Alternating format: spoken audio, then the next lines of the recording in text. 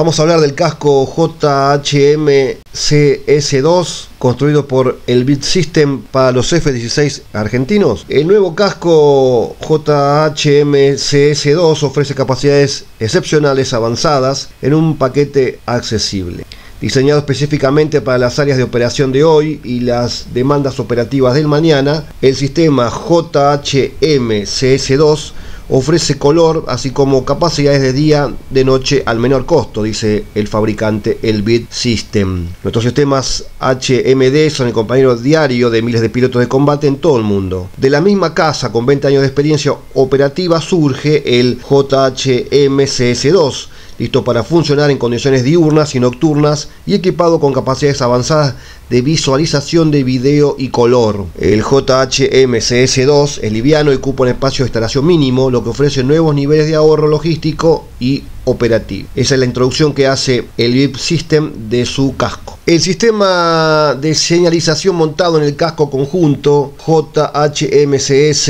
es una pantalla de casco modular montada en una carcasa de casco liviana HGU 55-P que puede acomodar un módulo de día o de noche. El módulo diurno proporciona una pantalla monocular proyectada en un visor con un campo de visión de 20 grados. JHMCS ofrece varias opciones para el módulo nocturno, incluida la pantalla de indicaciones de visión nocturna NVCD, campo de visión de 100 grados por 40 grados, o sistema de imágenes de visión nocturna NVCD Aviator, campo de visión de 40 grados, con una simbología o video insertado en la escena de visión nocturna. El JHMCS incorpora un sistema de seguimiento magnético de alta precisión que proporciona al piloto un conocimiento situacional total en todo el campo o mirada del dosel. El JHMCS está en producción a pleno rendimiento y está operativo en los F-15, en los F-16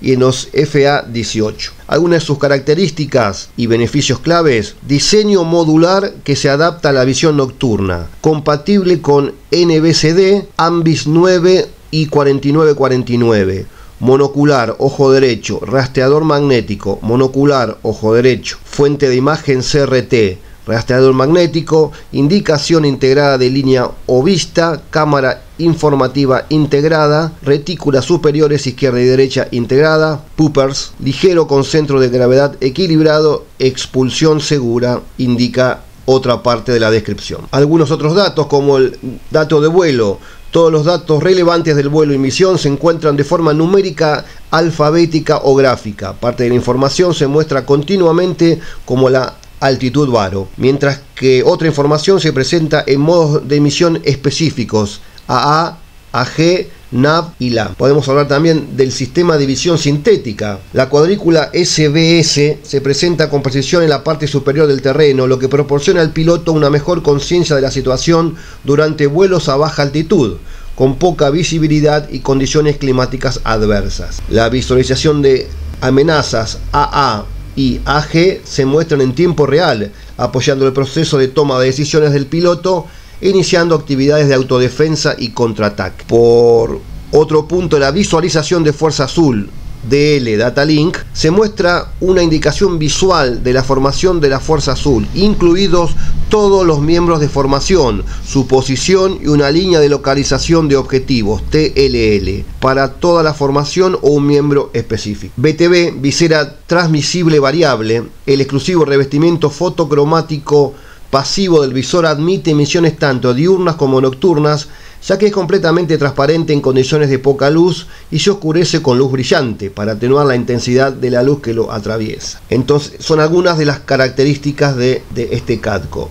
Por ejemplo, la adquisición de objetivos HMD, el módulo de designación láser LDP, se puede conectar a la línea de visión del piloto para un cambio simple e instantáneo entre objetivos AG. También tiene Fácil BDA, evaluación de daños por bombas. Después del lanzamiento del arma, JHMCS2 dirige continuamente al piloto hacia el objetivo para facilitar la evaluación de daños de bombas. BDA se puede agregar una cuenta atrás de tiempo a la pantalla. Visualización de video de módulo de orientación también se puede obtener, se puede mostrar el video del módulo de diseñación láser LDP, lo que permite al piloto verificar el objetivo mientras mantiene la trayectoria de vuelo. El estado del armamento también puede informarse basándose en reglas lógicas predefinidas la información crítica se entrega de una manera que atrae la atención del piloto. Por ejemplo, cuando un piloto cambia a modo dogfight, un mensaje ARM rojo parpadeará hasta que el maestro de armas cambie a Esas son algunas características de este casco que usa la Fuerza Aérea Danesa y también puede ser utilizado por la Fuerza Aérea Argentina. Gracias por ver el video, activa la campanita, suscríbete y gracias por estar mirando los videos de Multispacio de Defensa Aerobar.